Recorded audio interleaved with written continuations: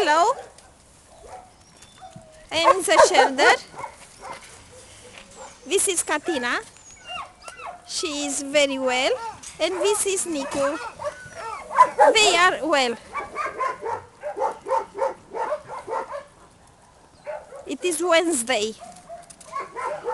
Ianuarie um, 14. They are okay.